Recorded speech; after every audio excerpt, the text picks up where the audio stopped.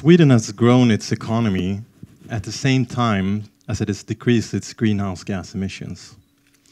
Sweden has achieved sustainable growth.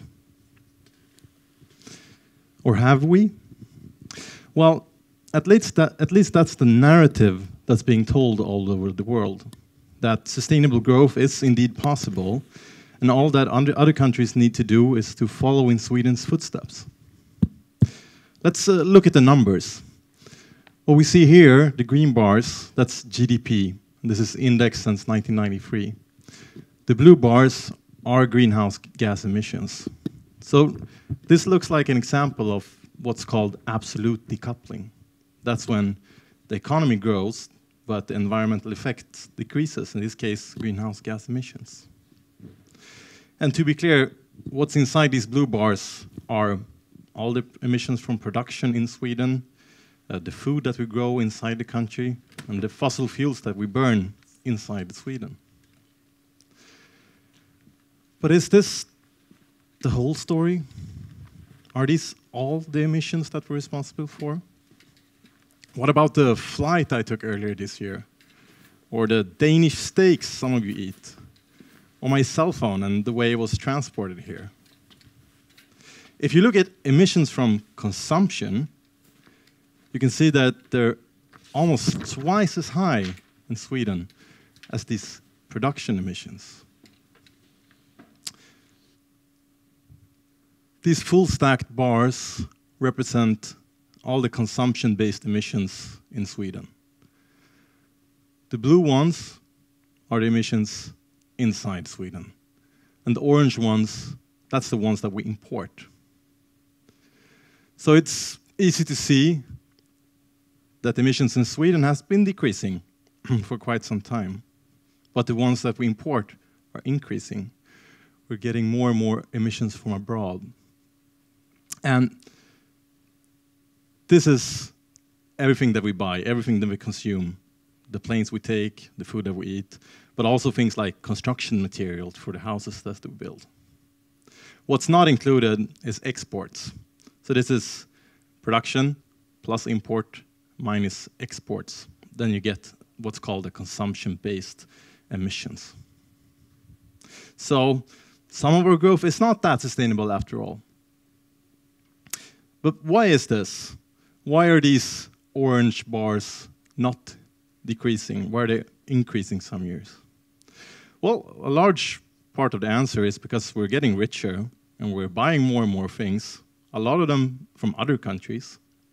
And at the same time, the global emissions of greenhouse gases has been increasing for quite some time. The last years, they're flattening out, flattening out which is uh, great news. But that is, is part of the answer. But another part of the story is the goals that Sweden have. We only have goals and targets for the blue bars. There's no ambitions, visions, or goals for the orange ones. The only goals that we have are to reduce emissions inside Sweden.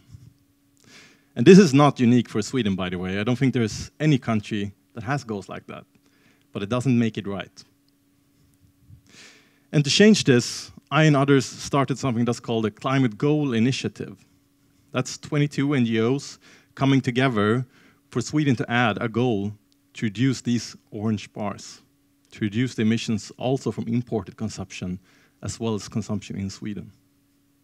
And among these NGOs are big environmental organizations like the Swedish chapters of WWF, Greenpeace, Friends of the Earth, Oxfam too, but also organizations like the Swedish Association of Farmers, the Swedish Church, and the Swedish Association of Consumers.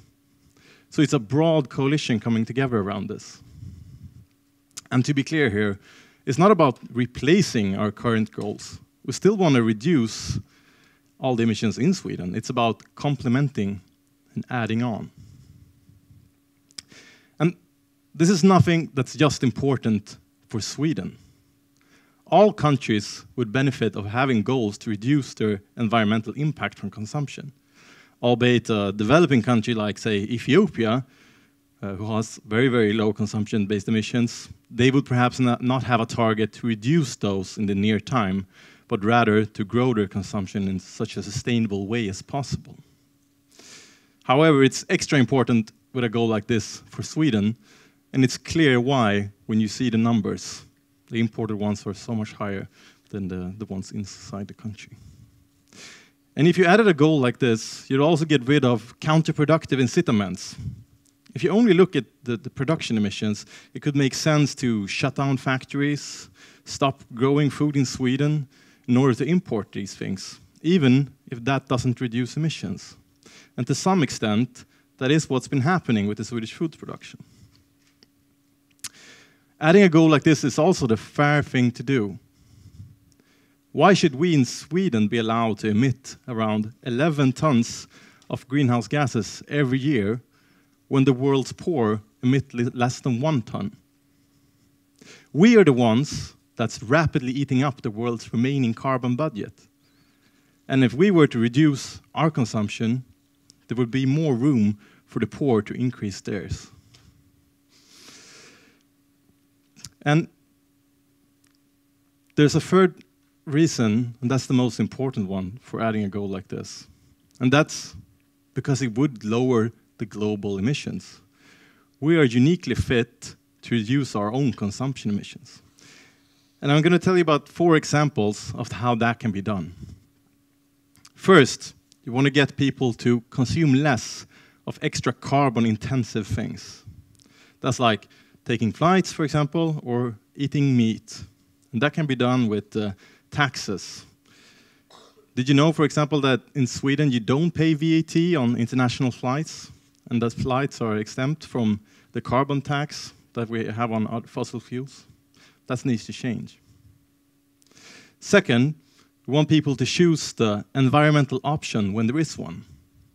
Like, for example, choosing to insulate your house with cellulose instead of glass wool, or driving an electric car instead of a fossil fuel one. And this can be helped with subsidies, for example, tax reductions, and the like of it. A third thing is to get people to consume more quality products that last longer and can be repaired. It's much better for the environment if someone buys, say, an electric kettle for $100 and it lasts a lifetime, than if the same person buys 10 electric kettles for 10 or $15, but they have to be replaced every second or third year. Buy quality, cry once, as they say. But in this case, it's not only your own tears that you're saving. And this can be helped by longer warranty times, for example.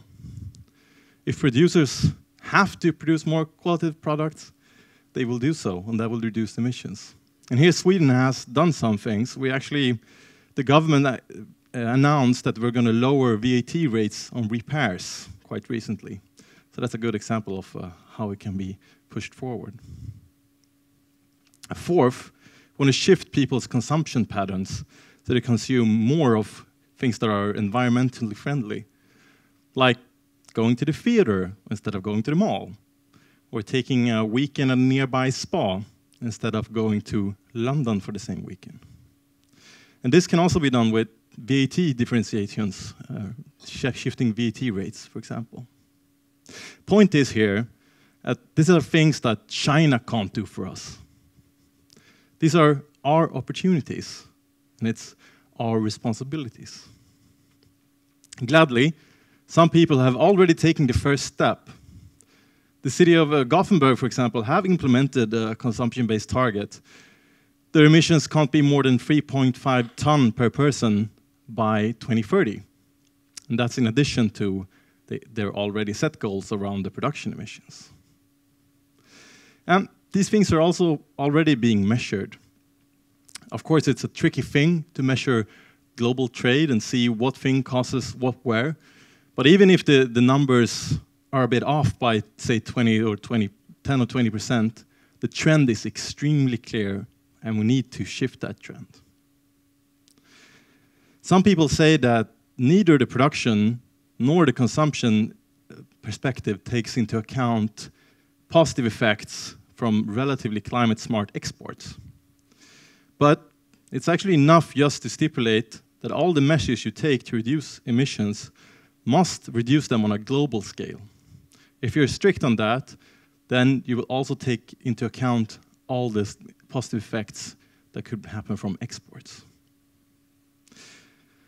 So emissions, emissions, emissions, emissions. Talking a lot about emissions here. But that's only one thing that's happening in a growing economy. We've also been seeing decreased biodiversity, cut down rainforests, depleted fish stocks, increased waste, increased pollutions. True sustainability and true sustainable growth needs to take all these things into account, as well as social factors.